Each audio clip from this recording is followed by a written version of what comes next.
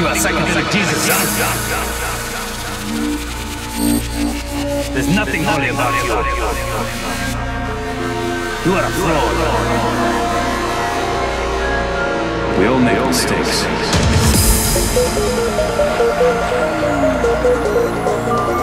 mistakes.